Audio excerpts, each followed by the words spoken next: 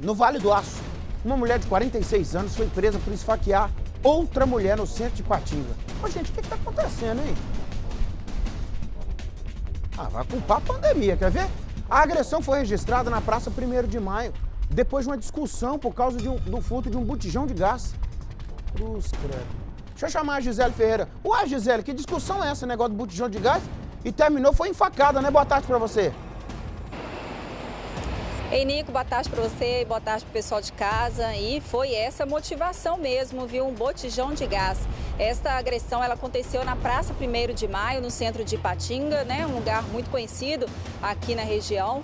E, de acordo com a vítima, a agressora lhe deu um soco e também dois golpes de faca. Antes de ser socorrida para o hospital, ela disse que a mulher alegou que ela havia furtado um botijão da casa dela. A suspeita foi identificada pela polícia militar, localizada dormindo é, perto de dessas pessoas que estão em situação de rua. E ela confessou que, que agrediu a mulher com socos e também com golpes de facada, mas a polícia não conseguiu é, apreender a arma utilizada na, na agressão, durante a agressão.